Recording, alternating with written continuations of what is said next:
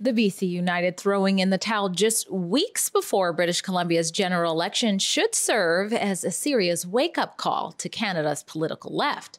However, some may still not be catching that signal thanks to the legacy media's failure to report on how BC United turning its back on freedom and conservatism played a key role in its party's demise. Let's talk about it. Drea Humphrey here with Rebel News, reporting to you during the tail end of my vacation. That's right, I do get some time off, but when I do, I'm still here talking to you sometimes, and that's because news never gets a vacation, does it? Especially not in British Columbia over the last week or so, where just a day before I hopped on a plane to get away for a little bit, big news shook up BC politics. As many of you now know, BC United's party leader, Kevin Falcon, suddenly suspended his party's campaign from the October 19th election and encouraged all who had been supporting his party, including his then 23 MLAs, to get behind John Rustad and the Conservative Party of BC. But what became apparent to me uh, as I've crisscrossed the province and heard from literally tens of thousands of people is the number one major concern that they had. And that is, Kevin, if you guys don't do the right thing and be the adults in the room and help bring together that free enterprise, center right, common sense coalition, you are going to help elect an NDP government. And all of you that know me know that there is nothing more important to me and my children and your children and grandchildren that we not give the NDP one more day in power than they absolutely have to have. And that's why uh, I made the decision uh, that I made as leader of BC United to suspend our campaign. I will be withdrawing our candidate uh, nominations. And uh, in cooperation with uh, John Rustad, we will work together to uh, assemble the best possible team of MLAs and candidates that can serve the best interests of British Columbians. The news comes after failed merger attempts between the two parties and the Conservative Party of BC consistently destroying BC United in election polls for months but it still served as a massive wake up call for many on the left, like the governing BC NDP party's Victoria Beacon Hill MLA, Grace Lore. For the last couple of days, I have heard from so many people who are feeling a bit turned upside down by BC politics this week. New donations, support, and volunteers from folks previously supporting other parties. People who don't see their BC in a party that denies the climate crisis, has committed to getting rid of SOGI in schools, and is running candidates that donated to the trucker convoy. I have also heard from parents and family and friends of trans and gender diverse folks who feel extremely anxious. Don't forget, the BC Conservatives tried to introduce legislation to limit the rights of trans kids to play sports. That's right, Lore. Come October, there could be a new sheriff in town. But on a side note, do leftist politicians have some sort of weird form of Munchausen syndrome where they enjoy making gender confused kids believe society hates them? No. The BC Conservatives didn't try and pass legislation seeking to limit trans kids from playing sports. I was there reporting at the legislature when they introduced the Fairness in Women's and Girls Sports Act, and when the NDP government, of course, shot it down before its first reading. It was a woman and girl led initiative proposing that women and girls be protected and have fair opportunity to excel in their sports without biological males impeding on their ability to do so, like is currently acceptable and permitted under the NDP socialist government. But that's far from all that's being permitted that many think should change. You know, perhaps if the left wasn't so hell bent on canceling citizens they disagree with and allowed them to freely express themselves without fear of losing their careers or being accused of spreading hate, then Grace Lore would be less shocked to learn that many British Columbians have had enough with her party's radical progressive ways. She even had some in her own comments reply to tell her why they will no longer be voting for the NDP. Some who gave similar reasons to why conservative Nanaimo MLA candidate Gwen O'Mahony, who formerly served as a BC NDP MLA, and Chilliwack Cultus Lake candidate Alia Warbus says that the NDP's policies no longer represent them either. Things have gotten very extreme in this province. And I should know that because I'm coming from the progressive left, okay? And I would say the party is squeezing out any kind of piece of common sense or sensibility that's left with a lot of the members. So there's many of us that have moved over and have joined uh, the Conservative Party. It can be a very hostile place. If you do not toe the line and if you do not agree with the ideology, then you are called a bigot. You could be canceled. They take glee in shutting down people's Facebook pages. It happened to a longtime New Democrat that I know, all because he was speaking out on um, issues pertaining to women in sport and, and self ID laws, those kind of things. They were excited when his Facebook page got deleted. You're shut down, and it is a toxic situation. I really felt that some of the socialist values that are held within the NDP that seem to separate us as a society around 2S LGBTQ plus, around education in the school system, and I think also around sort of the war on drugs and decriminalization. I didn't understand the issues that well. And so to me, I was taking things that people were saying at face value and saying, hey, look, it's as if you're against these communities. That's not the case. It's not about being against any one person or any person that's in the margin of our society. It's about doing what's best for everybody. And when I started to dig into the issues and do the research, I started to understand what the conversation, the narrative was actually about. And it's about doing what's best for all people and not putting any group ahead of each other. The Conservatives catching up to, and even in some cases slightly surpassing the NDP in election polls suggests the NDP really is losing the plot whether it's the power hungry NDP being the last North American jurisdiction to let go of nonsensical COVID jab mandates against healthcare workers, or David Eby's refusal to join other premiers in opposing the carbon tax that BC has to follow, our soul gouging house and rent prices, or like Gwen O'Mahony pointed out, allowing citizens to grab free crack pipes from hospital vending machines,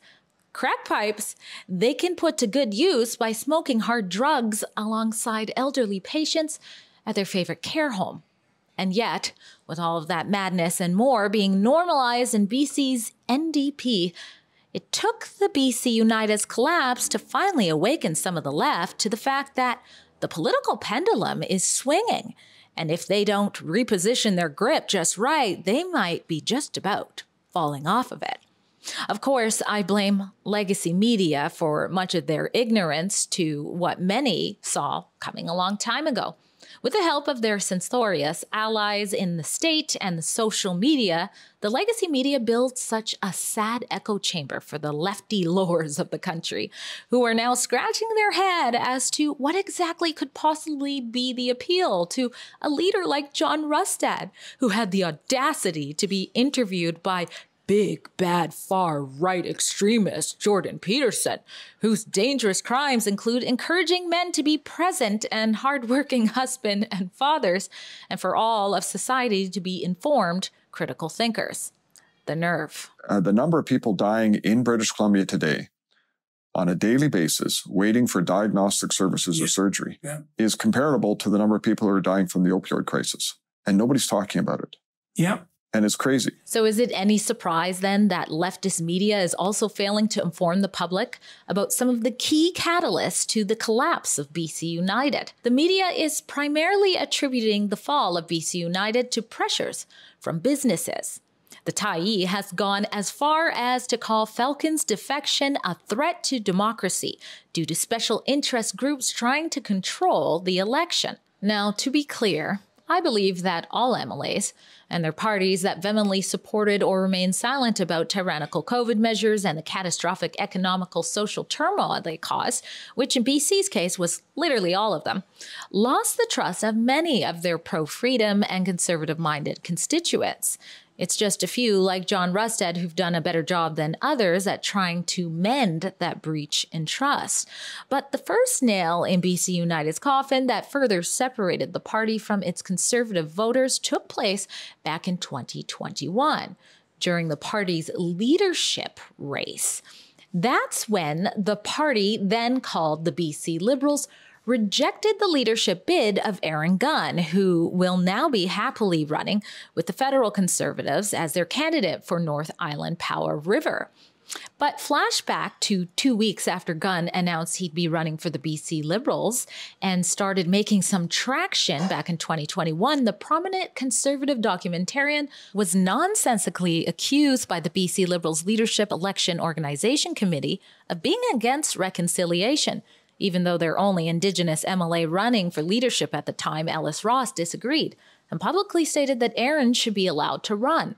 The NDP like rhetoric used to give Gunn the boot left many of the party's pro free speech members wondering if the party was actually the right leaning party it once was thought to be. And later, when Kevin Falcon ended up winning the leadership race, such concerns were only heightened, which leads me to fatal error number two the underestimation of the BC Conservatives and the exiling of John Rustad.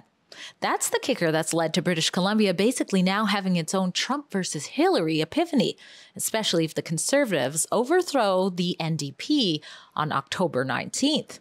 So, how did the Conservatives find themselves in this popular position? In 2022, the BC Conservative Party essentially came back from the dead, seeking to become an actual conservative alternative to the BC Liberals and the NDP and to restore common sense into BC politics. The BC Conservative Party overhauled and revamped that party into the Conservative Party of BC and began to run serious candidates in by elections. At the time, I think it's safe to say both Falcon and Eby thought that whatever the party was up to wasn't really a big deal. After all, the party hadn't had a seat in the legislature for 12 years and barely ran any candidates during any of the elections. So when leftist media began to come after BC Liberals, then longtime MLA John Rustad, because he dared to retweet a post from former Greenpeace co founder Patrick Moore that didn't align with the left's climate alarmism agenda, and then he refused to apologize for it, what did Falcon do? He appeased the left, who will eat their firstborn if it disagrees with them, and kicked Rustad out of the party on his birthday of all days. Now Rustad shifted over to becoming an independent. But meanwhile, the Conservative Party, which needed two MLA seats in order to have official party status, was continuing to establish itself. And then it happened. John Rustad, discarded by Falcon, crossed over from independent to the CPBC, giving them their first seat and soon to be their new leader, and opening the door for more BC Liberals to cross on through it.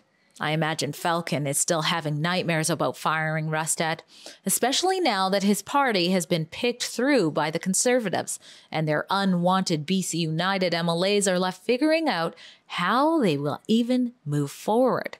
But perhaps before getting to this point, BC United still could have remained a viable opposition during the election if it were not for its fatal error number three. The legacy media will tell you that that error was the misfortune of the party having to rebrand themselves by renaming themselves from BC Liberals to BC United because they wanted to separate themselves from being associated with the Trudeau tainted federal Liberals, which they're not associated with. But as I've covered before, a poll that explored that theory told us that that's not really why voters are leaving them. Instead, I believe the third fatal error was after BC United tried to shift back from the NDP wannabe position they were in into conservatives when they realized appeasing the left wasn't serving them well. After all, it was done so poorly. Just a political minute ago, Falcon was taking a page out of Trudeau's How to Offend a Canadian book by referring to the Conservative Party as small fringe with conspiracy theorist members. And there's more examples, like when the NDP brought forward a stunt like motion in 2023 seeking to have all MLAs go ahead and applaud Bonnie Henry's vaccine mandates and to condemn the trucker convoy that had been smothered out a year earlier. Falcon had a real opportunity to make his party draw a line in the sand. And instead, what did he do? Well, according to some MLAs who spoke to me, they were told if you don't agree with that motion, not to show up and vote, which left a clear path for John Rustad to come and shine against medical tyranny by being the only MLA to say no to that motion. And then there was SOGI 123 the parents that are being vilified by the left NDP as spreading hate against trans kids who are simply just wanting sexually explicit books to be out of school and to stop normalizing the sexual indoctrination of kids, well, Falcon has kind of watered down his response on how he would approach such of things. He says, okay, we'll look at that program that's having that and we'll get parental input. But the conservatives, on the other hand, they got their boots on the ground during protests about this issue to show that they mean business when they say they'll get rid of SOGI 123 that's making that happen. And they claim they'll replace it with an anti bullying system. There's other examples, but I'll give you one more. It is true that eventually Falcon did stand up in the House and call for the BC NDP to drop Dr. Bonnie Henry's reckless COVID vaccine mandates against healthcare workers amidst ER closures and other hospital staffing shortages. But when I pressed him to see if his party were to form government and there was another declared pandemic, had he learned anything? Would they do anything differently? He dodged my question three times. BC United's pragmatic shifts, especially under Falcon's leadership, remind me of biblical scripture about God spewing those who are lukewarm out of his mouth. In addition to his party's demise, clearly illustrating a culture shift from the left, it should also serve as a reminder to all parties, including the Conservative Party of BC, that in a day and age where sadly everything has become so polarized, the people, including centrists, need to know and trust where you stand. Are you hot? Are you cold? Are you conservative? Are you liberal? Because if you're a chameleon party somewhere in the middle, you might just be no more. Drea Humphrey for Rebel News. If you like this political commentary, then give us your email at bcleadershipreports.ca. That way, you won't miss out on my upcoming interview with an election outcome predictor on the left with an interesting opinion on what British Columbians should expect for this upcoming election. And while you're there, if you'd like to support more reports like this, including those from the BC campaign trail, please consider chipping in a few bucks to cover the costs to make that possible.